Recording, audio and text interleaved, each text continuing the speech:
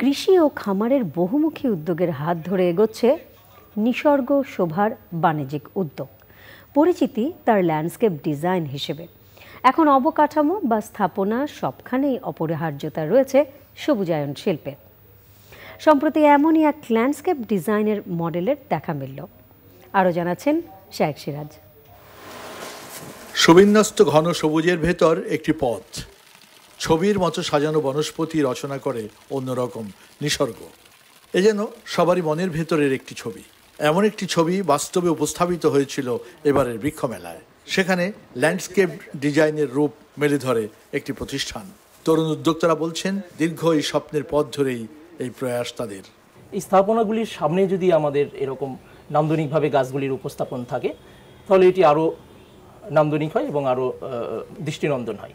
বিশ্বের উন্নত দেশগুলোতে আমরা যদি দেখি তাদের প্রতিটি স্থাপনার সাথেই আসলে নান্দনিক যেই বাগানের উপস্থাপনা সেটি থাকে। বিশ্বব্যাপী এখন অবকাঠামো নগরসজ্জা ও গৃহের ভেতরে বাইরে গোছগাছ সবখানেই মনোমুগ্ধকর সবুজের আয়োজন চাইছেন সবাই।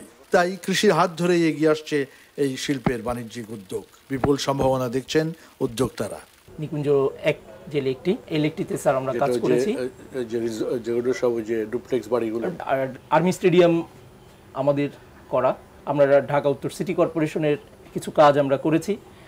এরপরে স্যার আমরা ঢাকার মধ্যে ঢাকার নিকটবর্তী কিছু রিসোর্টের কাজ আমরা করেছি। এবারে বৃক্ষ মেলায় মোট একশো দশটি স্টলের মধ্যে মাত্র এগারোশো ছাব্বিশ বর্গফুটের ল্যান্ডস্কেপ ডিজাইনের এই মডেল দর্শনার্থীদের চিন্তা এবং প্রত্যাশায় যোগ করেছে ভিন্ন মাত্রা।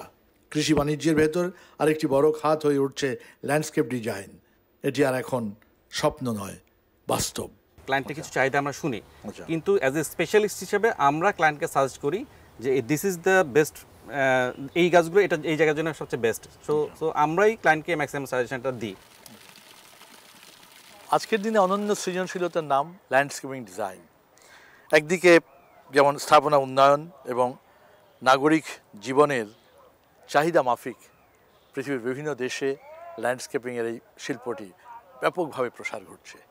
বাংলাদেশে একেবারে নূতন, তবে এই শিল্পকে ধরার এখনই উপযুক্ত সময়। ঢাকার জাতীয় বৃক্ষমেলা থেকে শাহিক সিরাজ চ্যানেল